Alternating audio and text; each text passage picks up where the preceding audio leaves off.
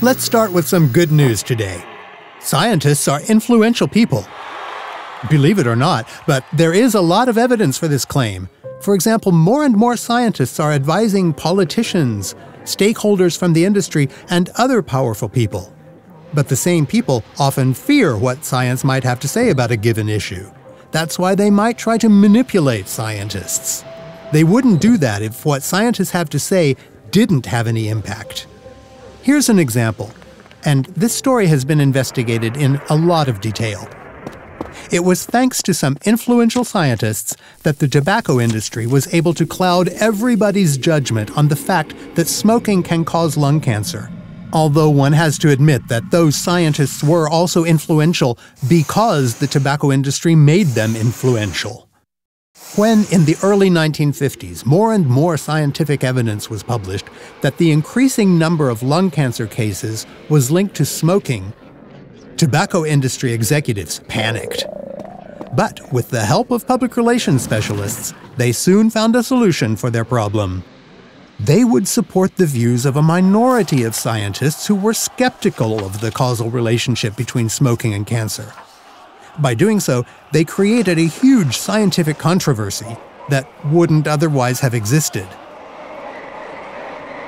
Whenever the question of the health risks of smoking came up, they would point to this controversy and state that there are so many uncertainties and the science isn't clear yet. With this strategy, the tobacco industry bought itself valuable time. New generations of smokers became addicted, and regulatory interventions were delayed for decades. In the meantime, the tobacco industry earned billions, while many smokers died prematurely. And as if this were not tragic enough, what's even worse is that this strategy was picked up by others. Oil companies pay for assessments from scientists stating that fracking isn't harmful for the environment.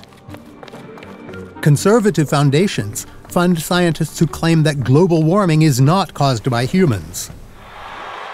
And certain think tanks support philosophers and sociologists whose work is in line with their political agenda. And what about the scientists? What is their part in this game of money, power, and influence?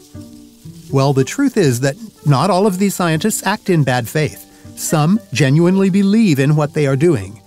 And yet, the fact that they rather than colleagues with different lines of research, get money distorts the playing field. The results of studies sponsored by interest groups have been shown to be systematically skewed in their favor, a phenomenon that is called the funding effect. And that, of course, undermines society's trust in science. So, how can scientists fix this? It might help to think about what conflict of interest means. Basically, it's always about loyalty.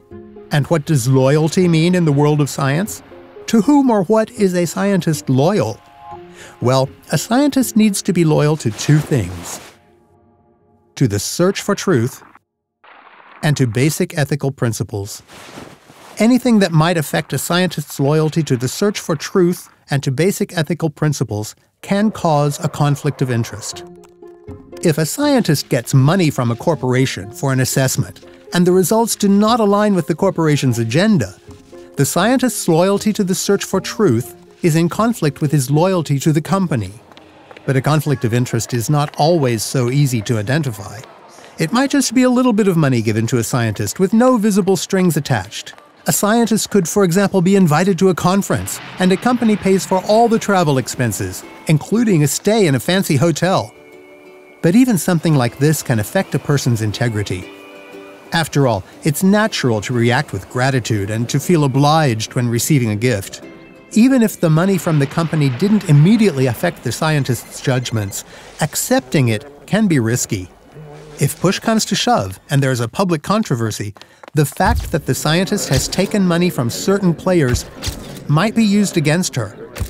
And if the public finds out about something like this, it can lose trust in science. So, as a scientist, you should think twice before you accept contributions from any interest group. However, this is a very idealistic standard. In many countries, there's not enough public funding of research projects available, and scientists there might not have much of a choice. that can lead to really tough situations. In any case, this is not an issue that scientists should grapple with on their own. We need to have this debate in our institutions, in scientific associations, and also in the broader public. Where's the line between acceptable and unacceptable practices? And how can we protect science from being targeted by vested interests? Let's start talking about it.